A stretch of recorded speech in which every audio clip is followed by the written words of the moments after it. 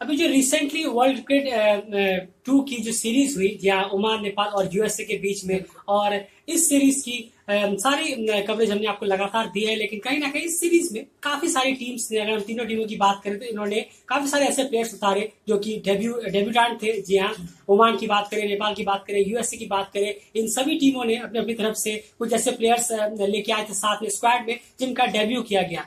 उनका आखिर परफॉर्मेंस किस तरह का रहा? और कुछ ऐसे प्लेयर्स भी हैं जिन्होंने एक दो मैचेस भले खेले हो लेकिन उनके लिए भी ये एक टूर बिल्कुल। बिल्कुल न्यू टूर था। और वहाँ पर उनसे काफ़ी उम्मीदें थी। तो कौन सी टीम के डेब्यूटेंट प्लेयर्स हैं या फिर यंग प्लेयर्स हैं खड़े उतर पाए हैं अपने अपने रोल के लिए? कौन सी टीम के डेब्यूटेंट्स ने बेहतर काम किया है? किस तरह का उनका रिपोर्ट कार्ड है?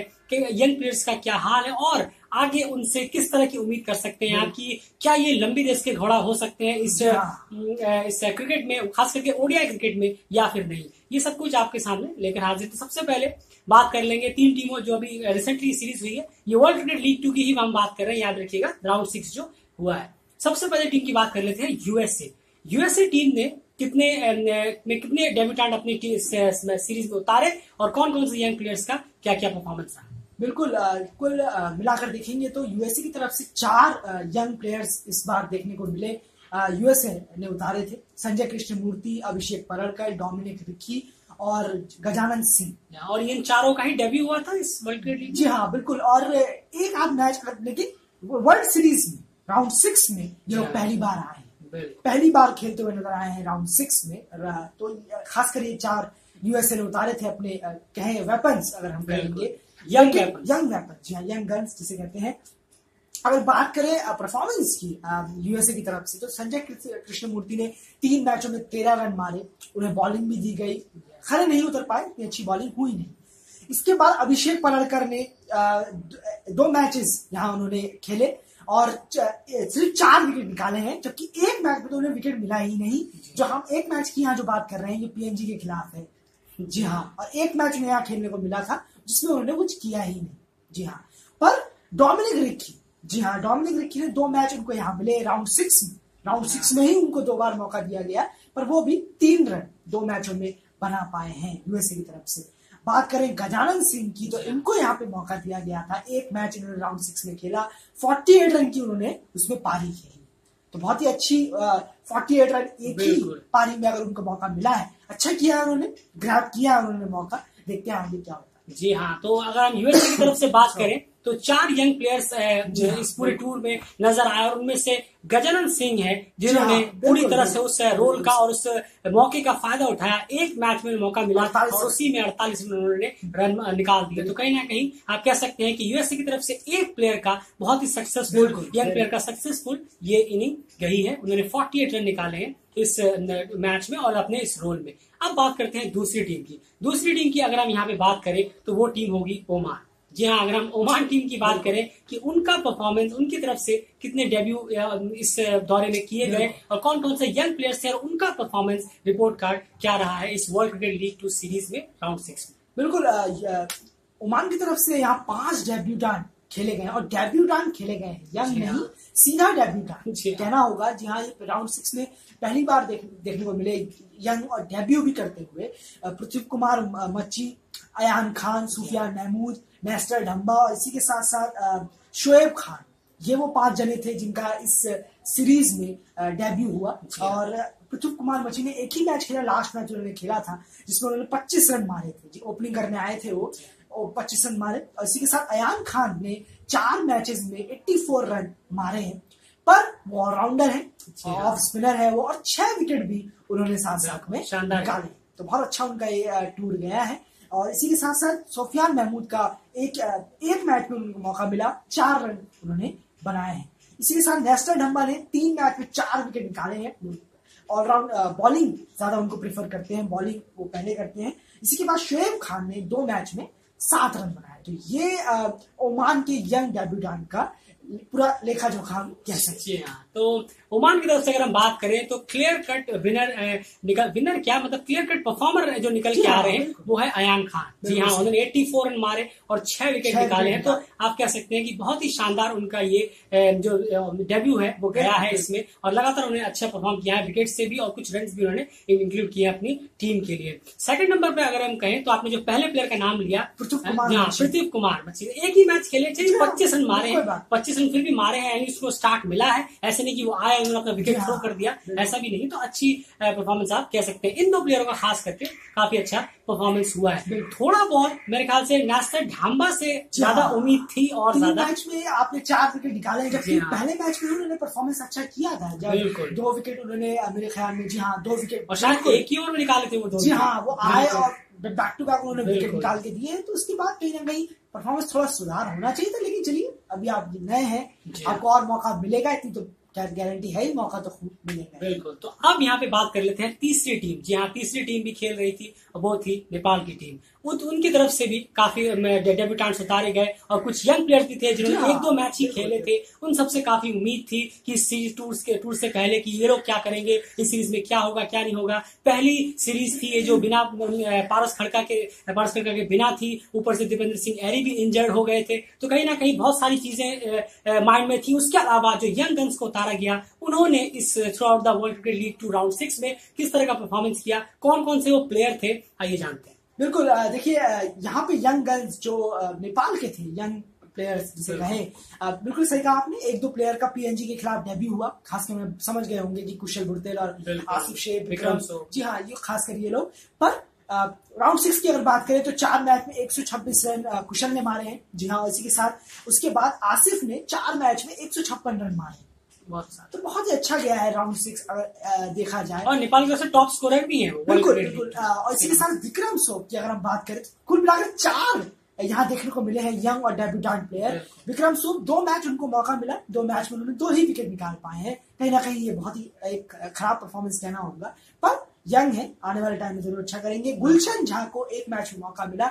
बॉलिंग से तो वो नहीं कर पाए हाँ। पर बैटिंग से इम्प्रेसिव करने की कोशिश की पचास के तकरीबन उन्होंने बॉलें खेली और हाँ। अट्ठाईस रन की उन्होंने पारी की जी हाँ तो ये चार प्लेयर्स थे जो जिन्होंने डेब्यू भी किया और काफ़ी यंग भी थे टीम में नए नए जुड़े थे और इन्होंने भी अच्छा परफॉर्म किया है। यहाँ पर अगर परफॉर्मेंस के बेसिस पे हम बात करें तो बिल्कुल क्लियर कट स्टैंड आउट होते हैं आसिफ से। जी हाँ जिन्होंने शानदार एक सौ छप्पन रन मारे और वो नेपाल की तरफ़ से टॉप स्कोरर रहे हैं राउंड सिक्स में वर्ल्ड क्रिकेट लीग टू में टॉप स्कोरर एक सौ छप्पन रन के साथ। और वहीं पे हम अगर दूसरे प्लेयर की बात करें तो आप किससे चुनेंगे? कुशल भुरतेल या फिर गुलशन झा? नहीं मैं कुशल मुर्दल को ही चुनूँगा ऑब्वियसली लेकिन यहाँ पे एक बात छोटी सी कहना चाहूँगा जल्दी से कि जब आखिरी मैच आया था नेपाल का मुझे याद है तब ज्ञानेन्द्र मल्ला एक्सपीरियंस की तरफ़ भागे थे। बिल्कुल। आपको ये देखना हाँ। होगा आप इस बात को नोटिस हाँ। करिए यानी कि जो नए आ रहे हैं वो आ रहे हैं। पर बैटर कर रहे हैं? ये अपने आप में ही बहुत बड़ा सवाल है कि बैटर कर रहे हैं या नहीं। विक्रम सोप की मैं बात कर रहा हूँ गुलशन झा की बात कर रहा हूँ। साथ साथ में कुशल भुरतेल की भी बात कर रहा हूँ। आपने रन मारे हैं बहुत अच्छा है। लेकिन कितनी देर आप पिच पे रुकने का कोशिश कर रहे हैं? ये है इंटेंट दिखाता है। खासकर कुशल मल्ला को उन्होंने बाहर किया। कुशल मल्ला भी इतने हाँ। पुराने नहीं है बहुत डिसअपॉइंट आने ही वाला था। कुशल मल्ला ने बहुत ज़्यादा डिसअपॉइंट किया। आपको चार मौके मिले हैं और उसमें आप बिल्कुल खड़े नहीं उतरे। मेरे ख्याल से पाँच मौके मिले हैं हाँ, लेकिन आप पाँचों में खड़े नहीं उतरे। बॉलिंग भी बहुत एवरेज रही है और बैटिंग में आपको इतने ऊपर भेजा गया लेकिन उसका आपने बिल्कुल योगदान नहीं उठाया। बिल्कुल सही कहा। इसलिए मैंने ये याद दिलाने की कोशिश की कि ज्ञानेन्द्र मल्ला आखिरी मैच में एक्सपीरियंस की तरफ़ भागे थे ना कि यंग गन्स की तरफ़। यंग गन्स आ तो रहे हैं। आना बंच में आना लेकिन क्या क्वालिटी है? वो बहुत बड़ा सवाल जी हाँ। इंटेंट है टैलेंट है लेकिन उसे परफॉर्मेंस में जो चेंज करना है वो कहीं ना कहीं बहुत सारे यंग प्लेयर्स नहीं कर पाते हम चाहे किसी भी टीम की बात करें लेकिन फ़िलहाल जी हाँ सारी टीमों में ऐसा लेकिन फ़िलहाल हम अगर नेपाल की बात करें तो फिर ये कहीं ना कहीं नज़र आ रहा है ये बहुत सोचने वाली बात है। लास्ट मैच में शरद वैस्वेकर और आरिफ शेख को उन्हें वापस टीम में लाना पड़ा और उसके बाद जो यंग बॉलर्स थे उनको भी उन्होंने आउट किया कुशल मल्ला को भी उन्होंने रेस्ट दिया। तो आप ये देख सकते हैं कहीं ना कहीं वो हिंट देने की कोशिश करते हैं कि ओमान के खिलाफ मैच है इंपॉर्टेंट मैच है। हाँ, मुझे अपने पूरे एक्सपीरियंस के सामने जाना होगा हाँ, ताकि अगर यंगर्स परफॉर्मेंस लगातार करते तो उन्हें ये कदम नहीं उठाना पड़ता परफॉर्मेंस इस तरह का नहीं होता। तो शायद नेपाल चार के चार मैच जीता चार के चार के बदले तीन मैच कम से कम जीत सकता था। तो कहीं ना कहीं वही हम कह रहे हैं कि यंग प्लेयर्स को और थोड़ा सा परफॉर्मेंस करने की ज़रूरत है। टैलेंट बिल्कुल है टैलेंट सबके अंदर है, ज़बरदस्त टैलेंट है। आपको पिच पे आके वो इंटेंट दिखाना होगा हाँ। कि नहीं मुझे भी टीम के लिए कुछ करना है मुझे ये मौका मिला है फ्री फंड में नहीं मिला है। और भी बहुत सारे लोग बैठे हैं वेटिंग लिस्ट में है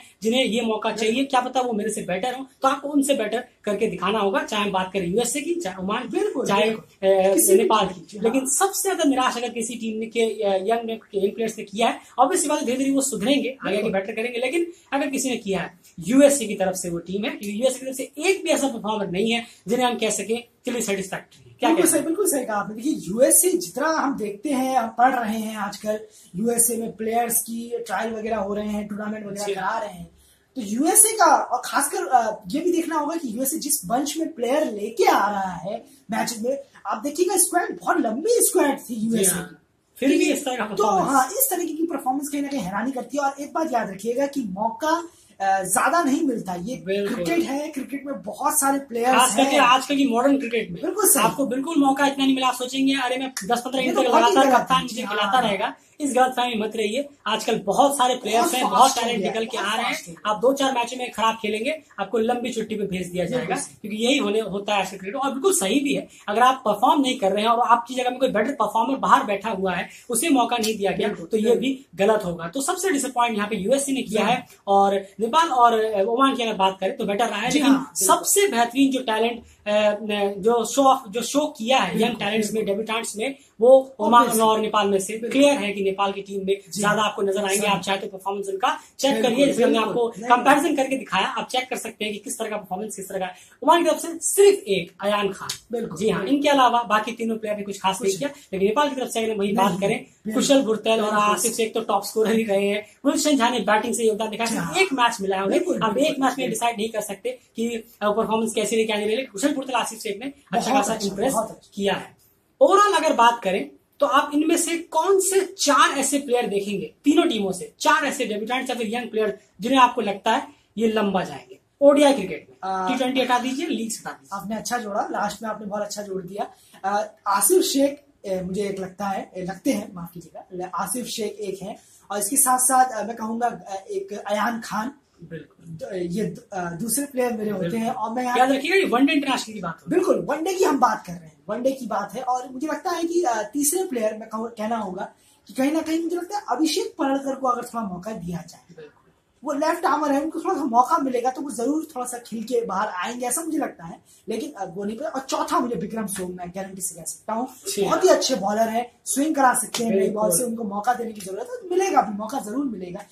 पर जितना मिले आपको जल्दी करना होगा क्योंकि आजकल का क्रिकेट इतना ज़रूरी है बहुत फास्ट हो गया है। जी हाँ बहुत फास्ट हो गया है। जैसे जैसे लीग्स भी आते हैं लीग से भी कई सारे प्लेयर्स आते हाँ, हैं तो उसमें भी कई अब माइनर क्रिकेट लीग हो रहा है वहाँ पर यूएसए में। आप सोचिए वहाँ से वहाँ से भी कई बंच ऑफ़ प्लेयर्स निकल के आने वाले हैं जो टॉप परफॉर्मर्स होंगे अगर यूएसए कोशिश करेगा अपनी टीम में लाने का। ईपीएल की बात करें ईपीएल होने वाला है वहाँ से हाँ। यंग प्लेयर्स निकल के आ सकते हैं टॉप पर वो जुड़ेंगे। तो आपको क्या लगता है कि आपकी जगह बनी रहेगी इसलिए? परफॉर्मेंस जैसे ही आपको मौका मिलता है आपको उसी फॉल पे सिक्स मारना है या फिर उस बॉल पे बोल्ड मारना है। विक्रम सोप की बात मैं जल्दी से कर लेता हूँ। आपने बहुत अच्छा ये पिक किया है। क्योंकि विक्रम सोप मुझे वैसा लगता है इस पूरे टूर में पीएनजी के खिलाफ पीएनजी यूएसए ओमान और नेपाल ये पिछले दस दिन के अंदर भिड़े हैं ये आपस में एक दूसरे के साथ क्रिकेट खेले हैं। मेरा सबसे बेस्ट स्पेल अगर किसी भी पेसर की तरफ़ से वही है जो विक्रम सोप ने पहला ओवर असद वाला के सामने डाला था। अच्छा मुझे। एक वक्त को लगा कि इंडिया इंग्लैंड सीरीज़ खत्म तो हो गई है लेकिन शायद यहाँ पर अभी भी चालू है एंडरसन वर्सेस विराट कोहली। आप एक बार वो ओवर ज़रूर जाके देखिए। आउटस्टैंडिंग स्पेल था। वो विक्रम सोप का जो उन्होंने पहला ओवर असद बराबर डाला था। आज भी मुझे याद है वो ज़बरदस्त परफॉर्मेंस थी। तो इसलिए सही कहा आपने ओडीआई में लंबी रेस के घोड़े में आसिफ शेख अ, अयान खान विक्रम सोप और अभिषेक पलड़कर ये बहुत लंबा जा सकते हैं। सबकी अपनी अपनी राय है हमारे हिसाब से लगता है। ये चार प्लेयर जा सकते हैं। आपके हिसाब से कौन से वो चार प्लेयर होंगे इन तीनों टीमों से जो कि काफ़ी लंबा जा सकते हैं वनडे क्रिकेट में? ये ध्यान रखिए। बिल्कुल। Comment box. ओपन है। ज़रूर कमेंट करिए। लगातार बने रहिए क्रिकेट चैनल के साथ। यहाँ कंप्लीट कवरेज आपको मिलती रहेगी। एशिया क्रिकेट से लेकर सारी अपडेट्स क्रिकेट की मिलती रहेगी। कम्युनिटी आप चेक करिए। वहाँ पे पूरी राउंड ऑफ़ क्रिकेट की हम लगातार देते रहते हैं। अंडर नाइनटीन यूरोपियन क्वालिफायर से लेकर कोई भी अपडेट हो इंटरनेशनल क्रिकेट से वो सारी अपडेट्स हम पूरी तरह तक कोशिश करते हैं कि आप तक पहुँचे। प्लीज़ एफर्ट कीजिए वीडियो को लाइक ज़रूर करते हुए जाइएगा। कमेंट बॉक्स में ज़रूर बताइएगा आपके चार प्लेयर जो लंबी रेस का घोड़ा साबित हो सकते हैं। ओडीआई में जी हाँ। इन तीन टीमों में से ही जो परफॉर्मेंस जो आपको मद्देनजर रखना है वो होगा राउंड सिक्स बिल्कुल बिल्कुल। फ़िलहाल इस वीडियो में इतना ही। बाय